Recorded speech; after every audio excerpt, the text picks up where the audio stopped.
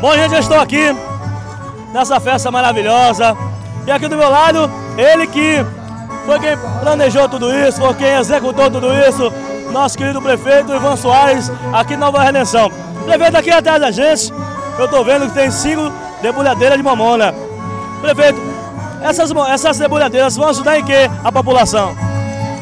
Olha, essas debulhadeiras foi um convênio com a CA, que é a Companhia de Ação Regional, e nós trouxemos aqui para o município para poder ajudar o trabalhador rural.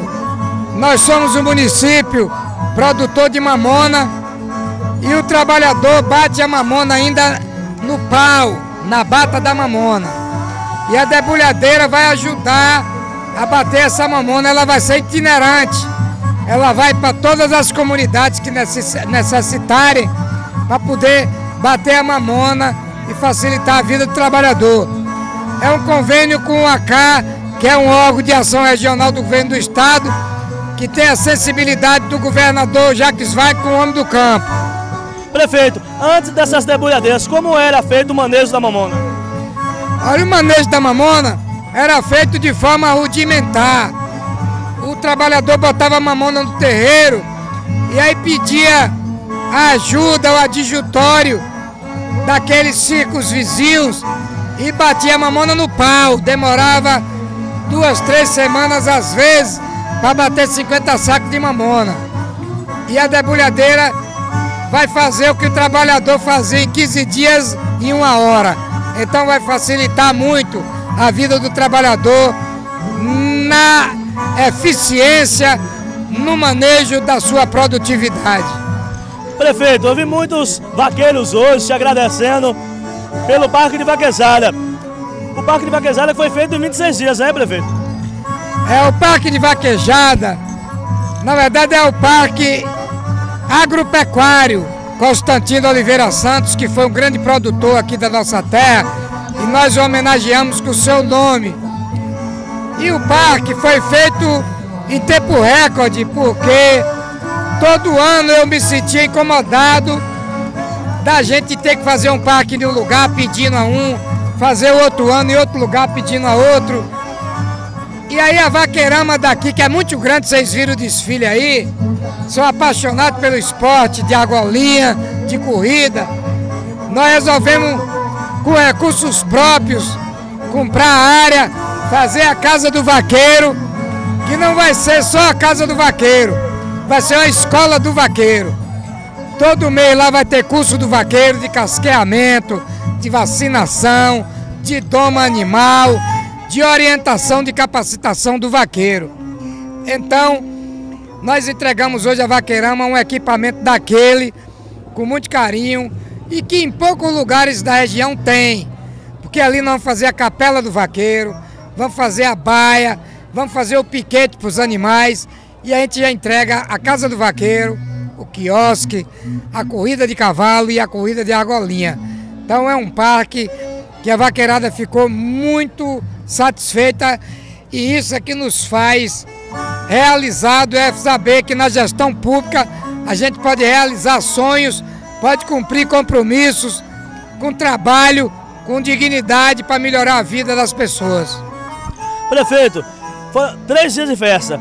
Na sexta-feira, com Raimundo Sodré e muitos outros, a cidade estava lotada. Ontem, mais uma vez, muita gente de fora, muita gente de Baixa Grande, Mundo Novo, Ibirá, enfim, gente de todo lugar. Isso engrandece também o, o, os comerciantes do município também, né, prefeito? A cidade cresce também, né?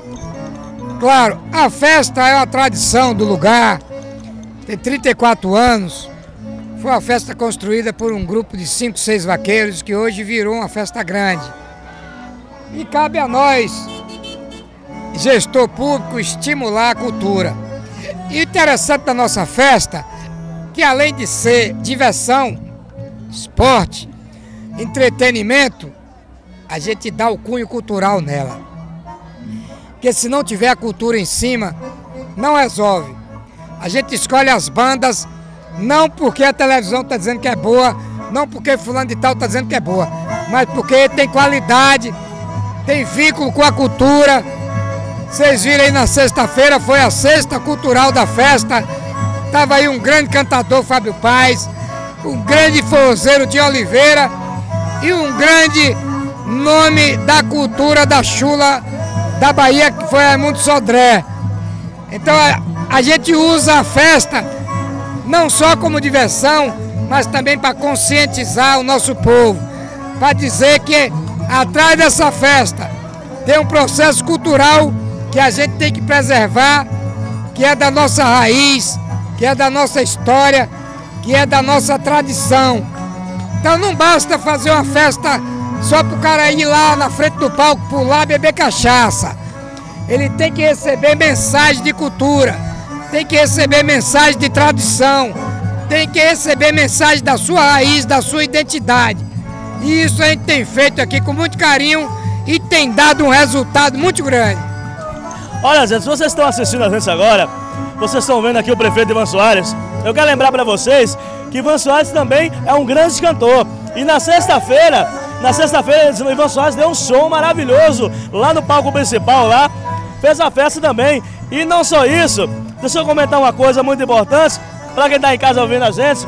O prefeito Ivan Soares, quando construiu o Parque de Vaquejada em 26 dias, ele foi para lá, pegou a colher e ajudou, junto com os pedreiros. Isso é verdade, prefeito?